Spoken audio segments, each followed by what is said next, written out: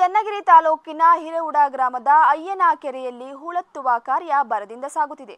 ಈ ಅಭಿವೃದ್ಧಿ ಕಾರ್ಯಕ್ಕೆ ಶ್ರೀ ಧರ್ಮಸ್ಥಳ ಗ್ರಾಮಾಭಿವೃದ್ಧಿ ಸಂಸ್ಥೆಯು ಹತ್ತು ಲಕ್ಷ ರೂಪಾಯಿ ವೆಚ್ಚ ಮಾಡಿದೆ. ಜೀವಜಲ ಸಂರಕ್ಷಣೆ ನಿಮ್ಮೆಲ್ಲರ ಹೊಣೆ.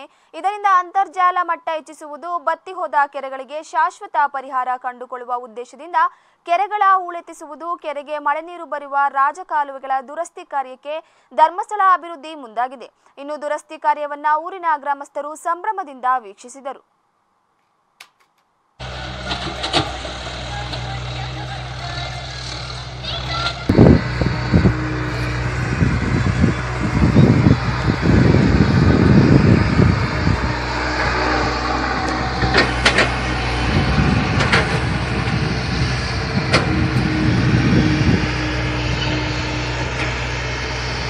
fue para que